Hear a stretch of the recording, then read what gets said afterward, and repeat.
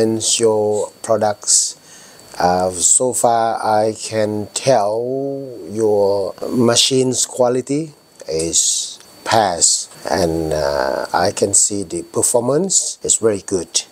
Compared to others, uh, you are satisfied. From I see around China, DXTECH is not bad. It, it's good, good machines. Doesn't mean not bad. DXTECH is good machines, so we can trust the quality and service from what I um, received today. It is good.